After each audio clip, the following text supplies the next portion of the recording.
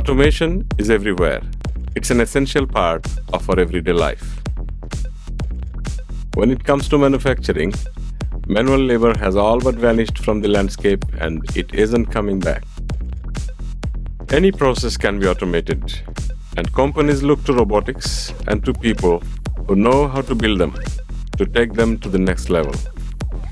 I'm Tito Kandakar, and I'm the program coordinator of Automation and Robotics program at Centennial College.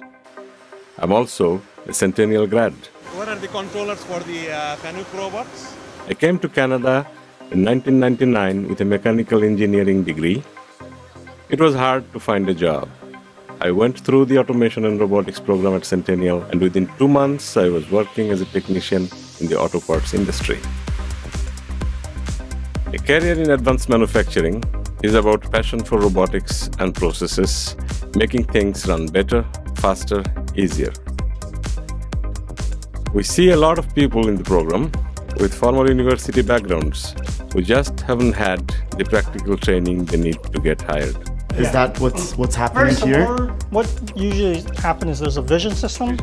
The theoretical and hands-on work they do in our state-of-the-art labs give them experience and confidence they need to start their career. And employers tell us the students make a real contribution to their company during the optional one-year paid co-op. It's a challenging field, but challenges inspire me, just like they inspire our students. Centennial College, your future in automation and robotics starts here.